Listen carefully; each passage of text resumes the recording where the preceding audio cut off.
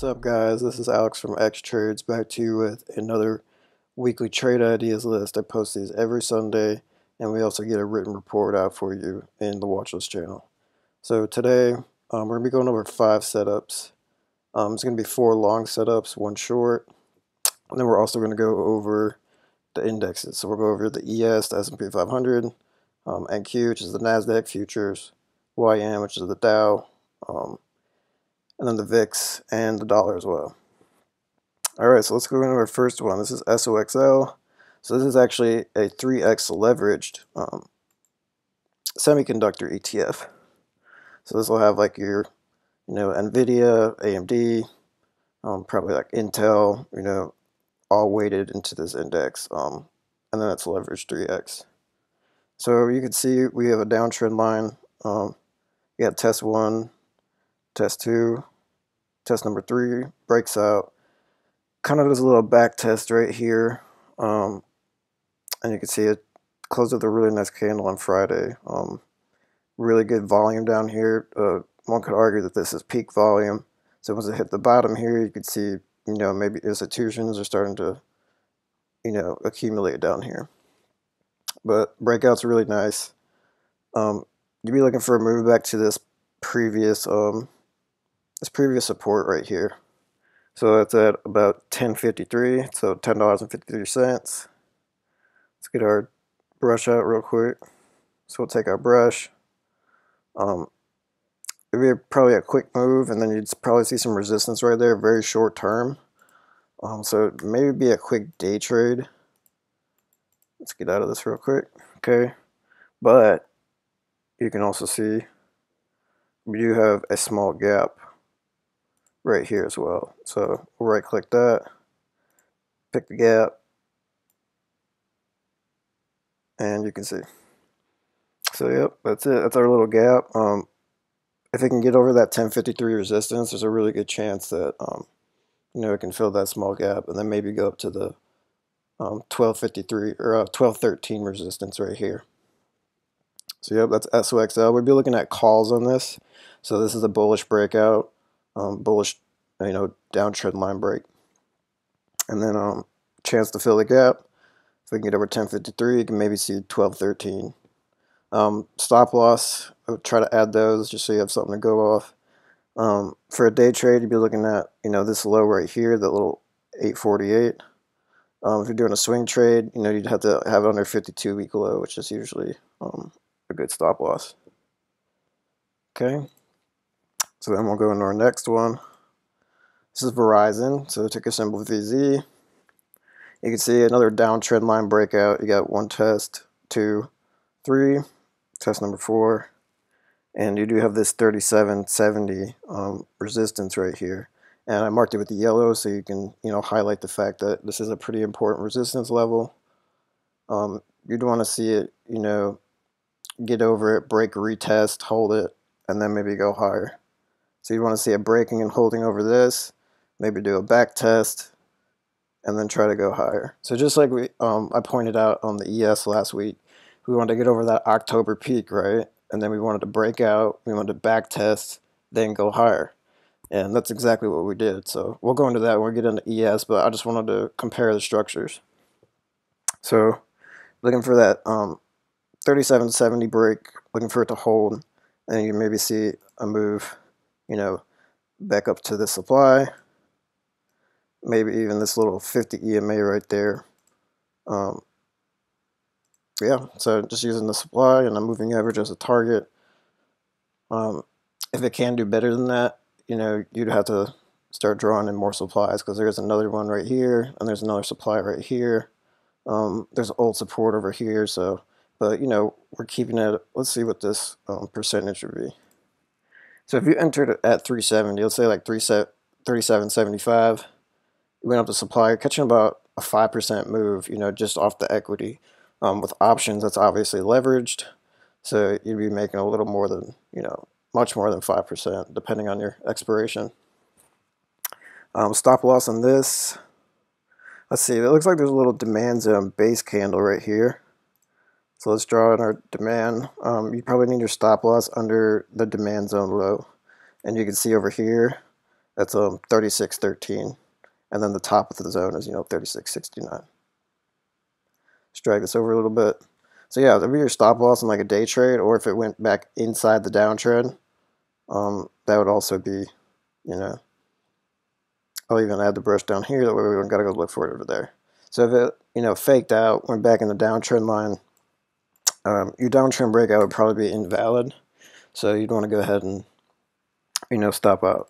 But the good thing about Verizon, um, if you're in a swing trade, there's a lot of cushion, right? You got a demand zone here, you got a demand zone here. Um, this is a rally base drop. This one uh, in the middle, a rally base rally. So yeah. So you can see you just got you got two zones for cushion. Um, it'd be good for swing trading, but day trades, short term trades, you, know sometimes you need a tight stop. So just watch those. Next, we're going to Riot. So this is Riot blockchain. Um, this is a crypto play on the stock market. Um, another one that you, you know you could watch too is like Mara. It's a ticker symbol M A R A. Um, they have a little bit of Bitcoin and Ether holdings, and I think they do like mining and stuff too. But um, usually a pretty hot um, crypto play when crypto's running on its own markets. Um, sometimes this you know will run um, for equities. But you can see really nice falling wedge, breaks out, hits this nasty supply. I'll even label it for you real quick. So hits the top of the supply, comes back down, um, and then holding a back test. So this little hammer or bullish candle right here, um, you know, is a good sign that it is holding the back test. And you more than likely see it move back up to the supply or probably try to, you know, reject around there. If you could get oversupply, you'd be looking for it to hold over it, break, retest, and then head up to this next eight um eight dollars and sixty cents area. So yeah, um, short term supply. If it can get over, looking for it to make a base off that off the top, and then you know head up to the next resistance. Stop loss. Um, for a day trade, probably looking under Friday's low right there. Um, pretty typical. Uh, or if it, you know, same thing with the other downtrend lines. If it, you know, went back inside, um, you're more than likely going to get invalidated, and uh, or it could even spend time chopping around here, back testing more before going higher. So you know, just watch that and um, make sure you're making good decisions and you know taking good option contracts. Adobe so I really like this one. Um, you do have the breakout. You got test one, test two, um, test three over here. Didn't really see a rejection on the test, but either way, this is breaking the downtrend line. Right now, having a little trouble at um, is that gap resistance and also this daily 50 EMA that you see. Um, you would want it to get over the 50 EMA, obviously, but there's a really good chance it will fill this gap, find resistance there, and then try to, you know, come back down. So um, for confirmation though, you want to see it get over this 330.58 looks like. We'll right click that uh, zone, add alert, and we're looking for it to cross over. Um, that'll give us good confirmation that it's entering the gap. Um, we would also know for a fact that it would be over the 50 EMA area. So um, you already do have the confirmed breakout, but um, we do want confirmation over that 330 level. Make sure that you know, it's getting over the 50 and also getting over this little rejection point where you see that um, strong wick. And then you can see, um, here, let's let me show you where I got the supply from because it's not the cleanest on the daily chart, but if you go to this, this is a nasty drop-based drop uh, supply zone. Let me find this tool real quick. So you got a drop, creates a base, drop. And, um, you know, your bullish base candle is always supply, so um, you can see just nasty bullish base candle. Something changed here to lead to dropping. And we know for a fact that was this earnings report. So that's all you're doing. You're looking for an imbalance area up here. You're looking for something that changed up here to lead to this event. Once the price returns back to the area, you know for a fact that you have an imbalance area that previously reacted.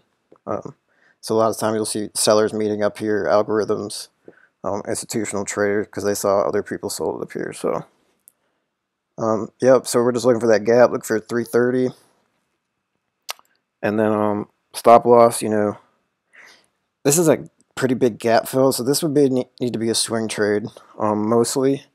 If you were trying to, you know, just catch a day trade and maybe fill a little quarter, half of the gap, um, you would need a stop loss under this little structure right here. That's like 316. Um, it'd probably break under that flush. Um, per swing trade, you'd you know 52 week low max, although that would give you a pretty big drawdown. So you want to be careful with that. Um, maybe even use my suggestion of, you know, if it went back inside the downtrend, you know, you'd probably need to go ahead and exit. So yeah, that's Adobe. Um, over 330, looking for a gap fill. Main rejection area would probably be this of supply. Next, we'll go into CVX. So this is an oil play, um, one of the biggest holdings in the XLE. So this uh, CVX and Exxon both make up about 15 to 20 percent, I believe, of the XLE ETF. So if you see these two moving, it's most likely going to replicate the, you know, that's what pretty much makes XLE do what it does, um, just because it has such a high weighting. And obviously, a lot of others, you know, have a big role as well. But um, in terms of looking the same as charts, I'd say Exxon and CVX do have very similar charts in terms of the energy sector. So you do have this big rally base drop supply. It's just totally nasty. Let's draw it out. You got a rally.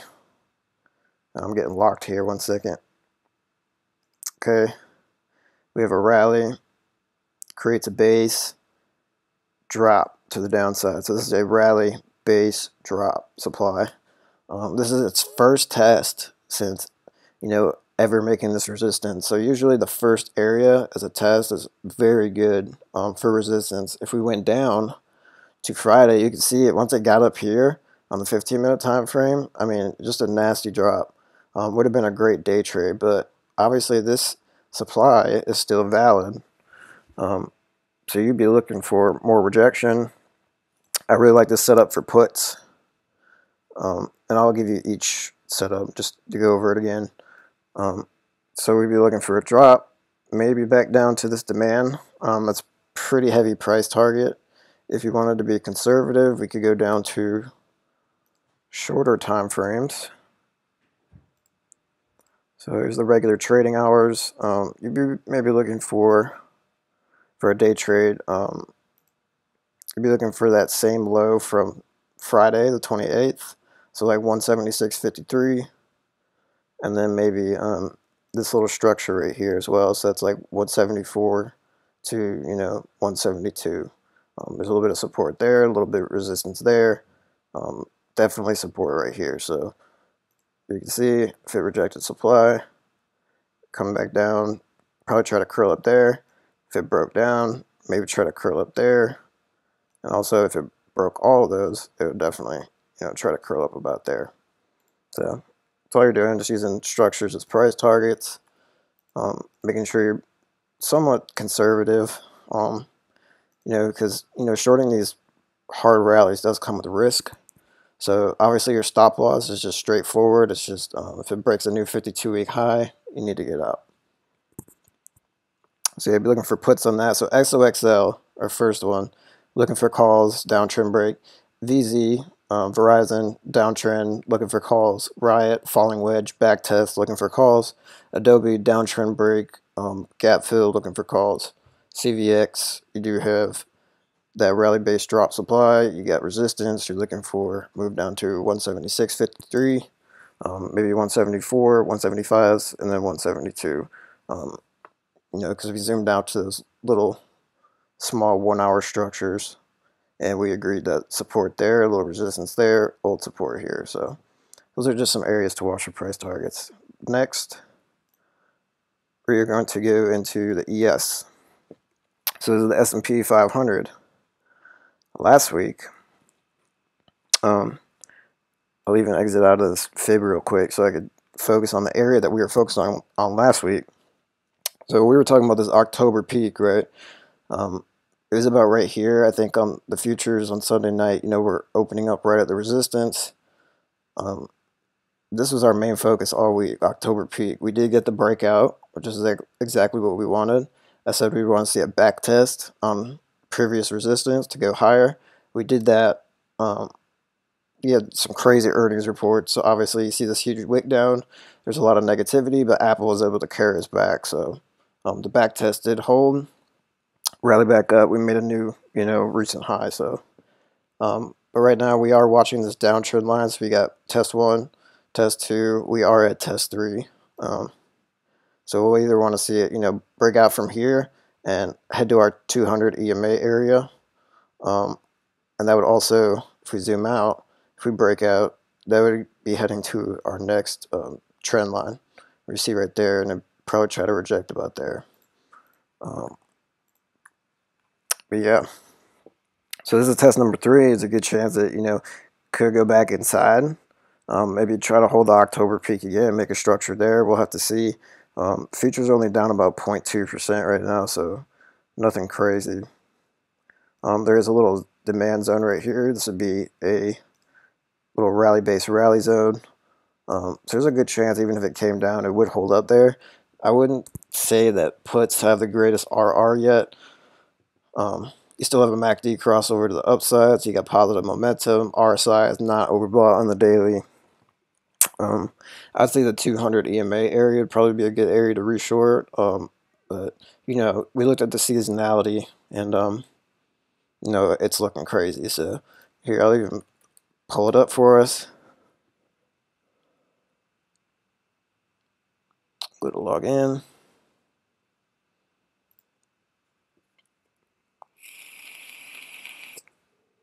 All right. Let's go to trying to find. There we go. All right, let's go to the S&P 500. Since we're looking at the ES seasonality, we're looking at the 31st, so Halloween. Hope everybody had a great Halloween weekend, by the way. I went to a haunted house. It was very fun. All right. And let's go up to, is that November 4th? I think that's the Friday. All right. Um, and you can see this is just a 10-year chart.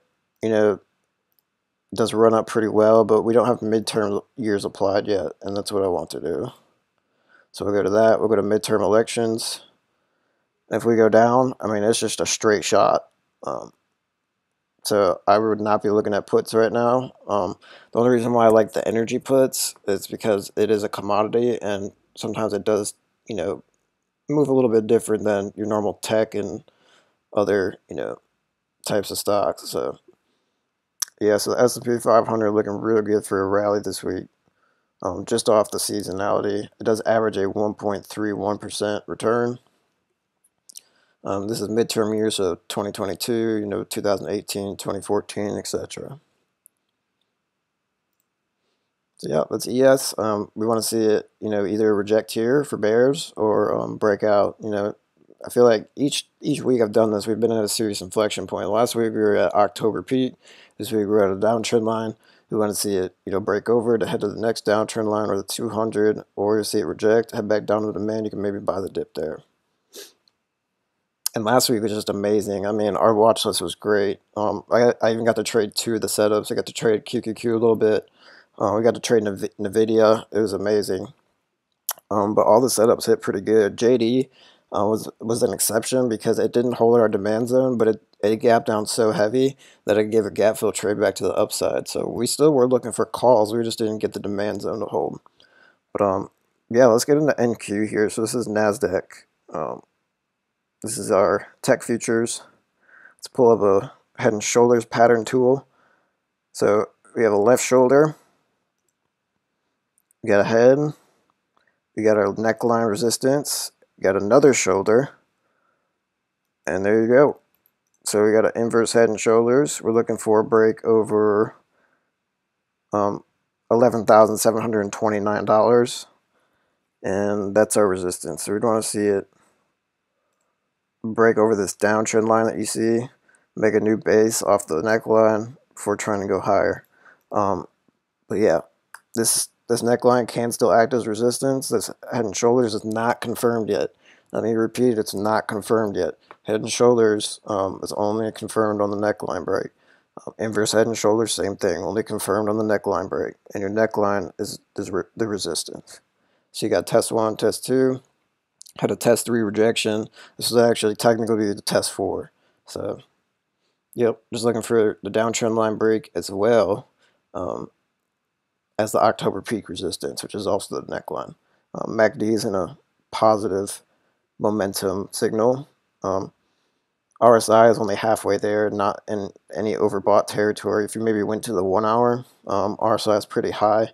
So short term, little extended, might need a breather, make a structure. Um, four hour, not really overbought yet. Um, I'd say the four hour RSI is a pretty good indicator uh, for overbought conditions, etc.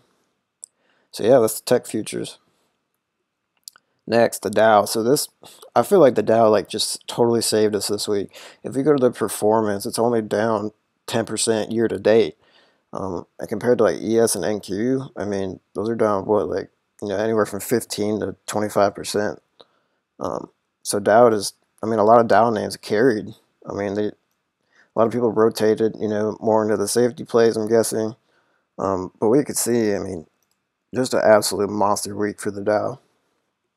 So you got test one, test two. Um, try to break out. It was a total fake out back then. Um, and now we are getting back over that line. So this is another inflection point, um, kind of similar to ES, but ES is not even close to its all-time high to now, um, you know, downtrend line. If we go back, you know, it does have to get over this short-term one first to get to that. Dow, on the other hand, is at the all-time high to current downtrend line. So that's something to keep note of. Um, ooh, looks like I need to get charged, uh, plugged in here soon. Luckily, um, you know, we don't have too much left to do here.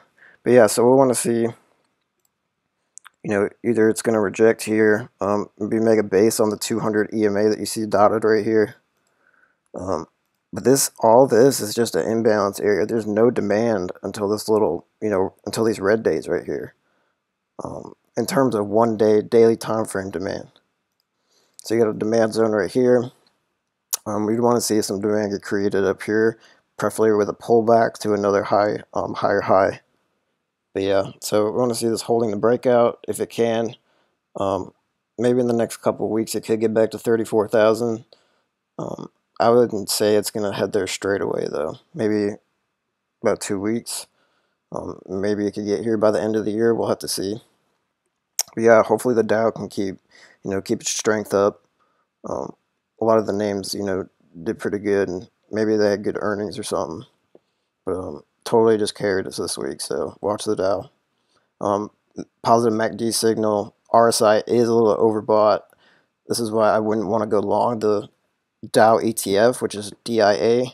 Um, this, you know, this signal right here, you know, it's just, I don't know any pullback, you know, you could get screwed on premium. So next, we're going to the VIX. We'll go into the data first and what makes the average. So Friday we had a 25.75 close that brought us up to 26.26 for the um, 2022 average close. You can see that down here. It's you know 26.5, uh, 25.9.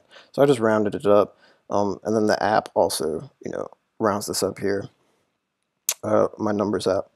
So we can see we are below the 50 period EMA um, that I implemented on this. Uh, we are below the average now too. If we go to TradingView here, um, we're at the 200 EMA. So the VIX, there's a good chance it could try to hold up right here. Um, right now, with the VIX at the average, you're getting average, you know, price premium. So you, are getting value on premiums. They're not too expensive, um, and they're not too cheap yet either. Um, but the next move for the VIX, you know, we did say we were looking for the 35 rejection and a mean regression back to the average. We finally got that. But now, since we're in the middle, we're going to want to see it stay under this average. Um, that'd be good for bulls. Um, or we want to see another close and start heading back over it for bears. Uh, but based off the seasonality, you know, there's a good chance that um, we are going to rally. And that might make a lot of people mad, but um, Wall Street is Wall Street. So, all right, so we want to see it move maybe back down to 2264. Um, this is just a weird spot. This is the spot where you're waiting. Um, we're going to either wait for it to get all the way down here, and when puts get way too cheap, we rebuy puts and wait for a mean regression back up. Um, or you want to you know get it up here and wait for their mean regression back down. Um, this is more like a middle point, so you're kind of waiting to see what happens here. But um, if it does stay under, you know that's good for bulls. If it you know stays over, you know there's a good chance that people are trying to reprice in volatility. So, oh, and it also broke our trend line last week, and that's exactly what we are looking for. And same with the dollar, we were looking for that short term um, uptrend break, which it did. You can see test one, test two, test three, broke it, which would take us back to our longer term, which is what we also went over last uh, Sunday. So same thing. Um, I'm not feeling good about the dollar selling off until this is broken. Um, so you might see it come down, try to curl up off the line. Um, if you're a bull, you're going to want to see it break down, you know, curl back up a little bit um, or just sell straight off. We want to see more aggressive selling on the dollar. Um, next level for the downside would be 107.68. Um, otherwise, if it's holding this trend line, you know, we could see it come back up and test highs again. Um, maybe even just this little short-term peak right here, make it like 113s. Um, but you can see, I mean, the dollar is uh, has a negative momentum for the MACD. Um, RSI isn't oversold yet, and it's crossing back down 40 or to the 40 area. Um, so that could be good. Maybe currency traders are starting to price in, um, you know, inflation coming down and equities being able to have a run. So yeah, that's everything, guys. Uh, we had four longs, so four call setups, one put setup. Went over our indexes, and um, I hope y'all got some clarity. Um, last week's was amazing. I hope it goes just as well for you guys and for myself. And um, yeah, I'll see you guys on Monday. If you guys need anything, just reach out to me. Thank you so much. And uh, username is Alexander underscore 96 on Discord. Thank you. thank you